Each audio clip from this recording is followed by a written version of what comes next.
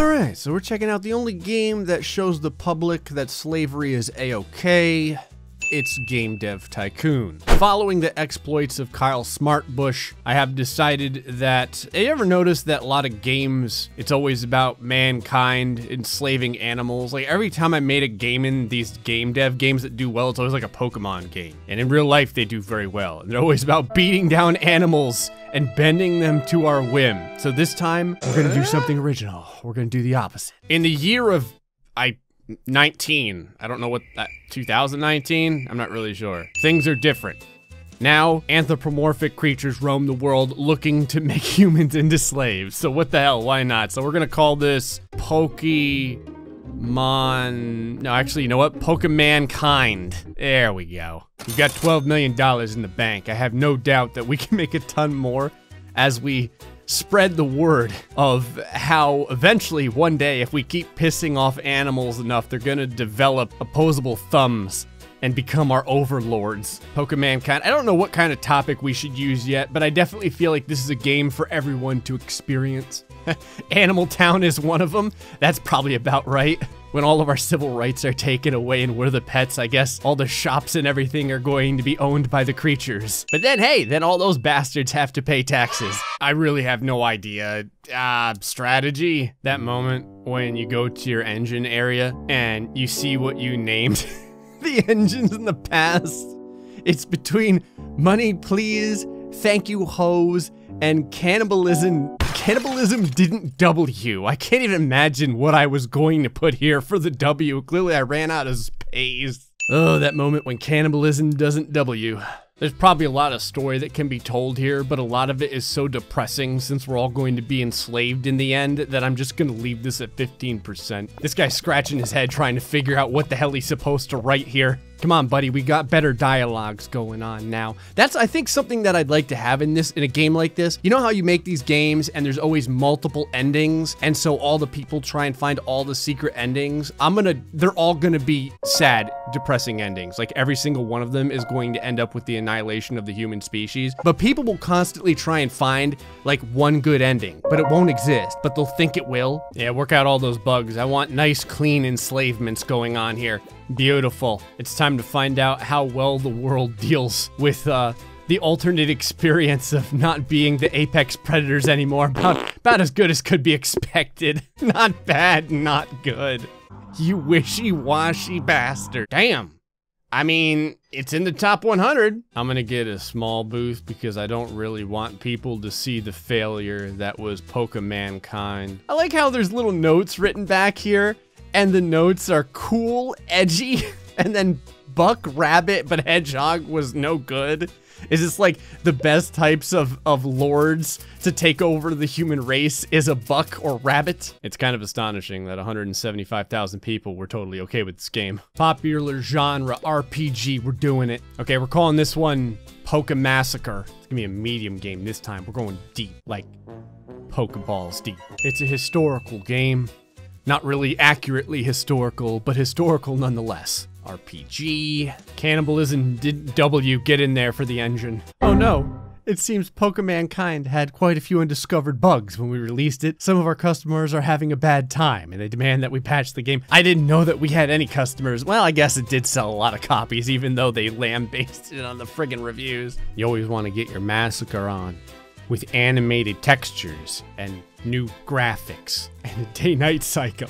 Because for some reason, the day-night cycle always makes the difference. Even I'm always impressed when a game has a day-night cycle. Marketing. Give it a give it a boost. You know what? Give it another boost. Every time I make something stupid, it always seems to do okay. Poke Massacre is one of those things that sounds so dumb that I have a feeling it's gonna do alright. Realistic water? This is something to to research? I don't know, I guess it's better to see the floating bodies of all the the family of the people who fail in the games. Oh god, here we go. Oh, that's gonna pay for the next couple of failures. Oh, Poker Massacre, You gleaming, sparkling bastard. Yeah.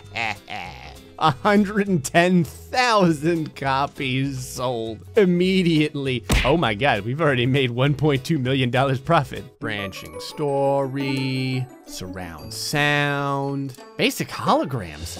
What the hell? We just got done doing 3D graphics. How the hell did we move all the way to holograms? I don't know, I'm not gonna question it. Boss, gluten has grown well under your management. I don't know how that happened.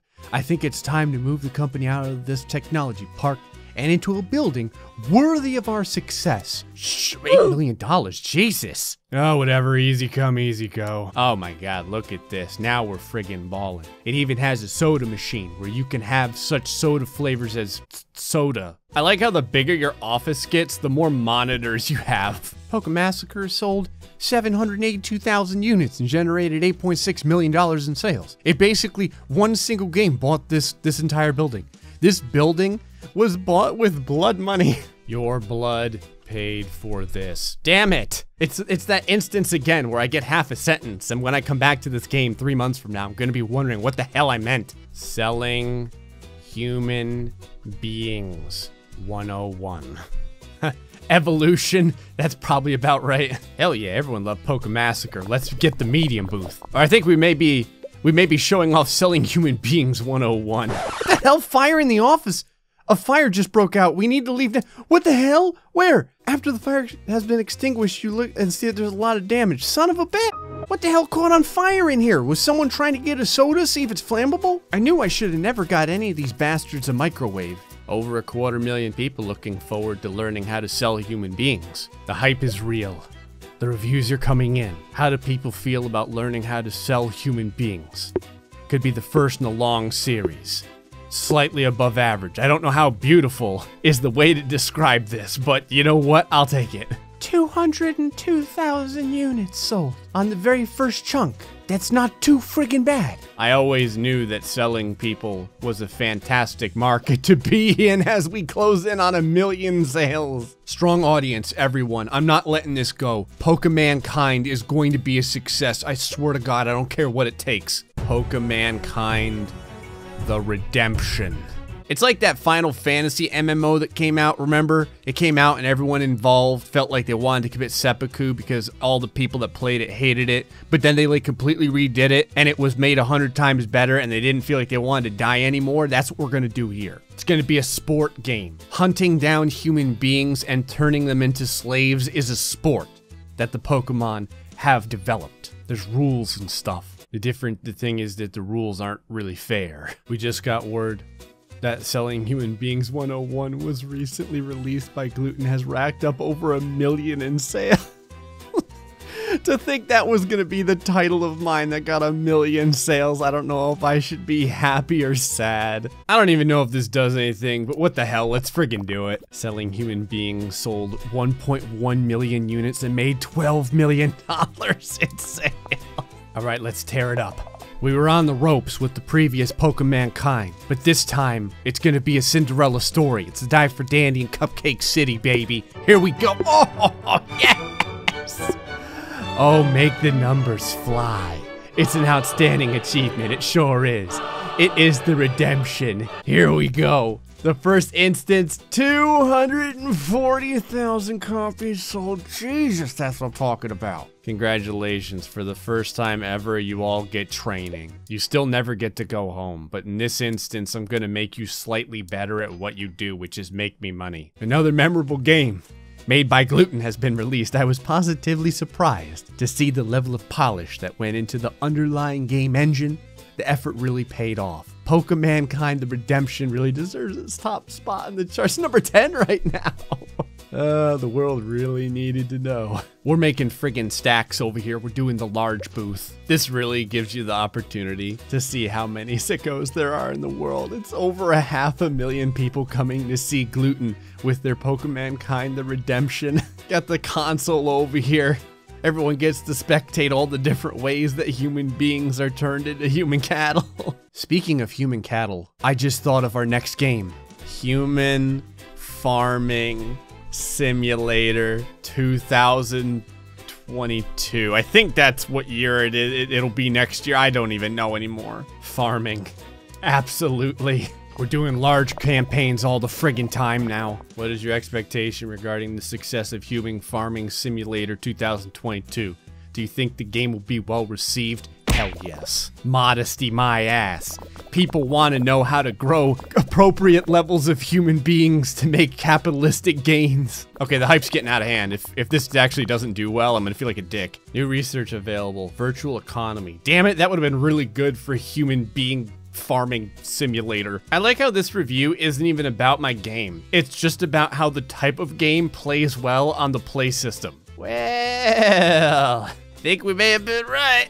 After selling a million units in a month, I think it's time to hire some more people so that we can ruin their lives. The budget's 2 million. Find me the best scumbags there are. Susie Manley. It doesn't look like you're wearing pants, but your scores are incredible. Honestly, with the scores this lady has, she doesn't have to wear pants at work if she doesn't want to. 1.5 million people enjoyed the simulative experience in selling, well, farming and then selling human beings. We decided to release some all new human harvesters at the uh, Grand G3 convention here for Human Farming Simulator 2022. Pokemankind Go. There's a lot of mobile devices now. I thought we would take advantage of it. So the big difference is, is that people are going to have to go around in the real world and beat each other down and then capture each other and then turn people in to various acceptance booths that we'll put all around the world. We're gonna put it on both the mobile things here. It really seems like kind of a waste to have all this stuff, but I'm, I just, I, we need it. The video playback, absolutely. Get the friggin' hype train going. Considering the very nature of this game is people trying to beat the hell out of one another, I feel like this is going to cause a real issue for public services like police, fire, and EMTs. Pokemankind go. You know what to do. Uh, uh, oh, you son of a bitch!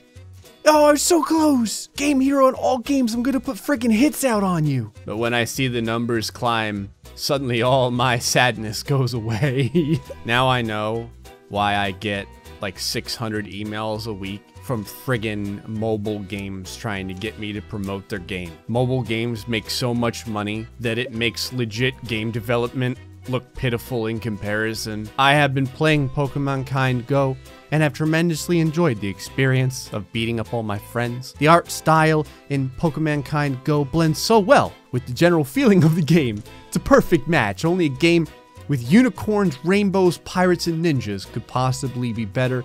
Julian, we're gonna have all that in a DLC, don't you worry. Uh, yeah, it's gonna be a large booth for Pokemon Kind Go.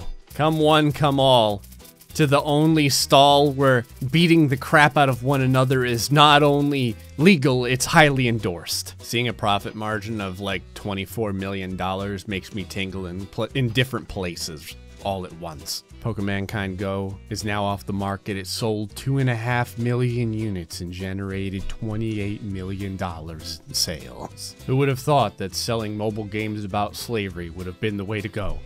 We did it. We made, I don't even know, we're making like 20 something million dollars a month at this point. But more importantly than that, we're spreading the gospel of uh, human farming simulation across the globe. Anyway, folks, I hope you enjoyed this episode of Game Dev Tycoon. Till next time, stay foxy and much love.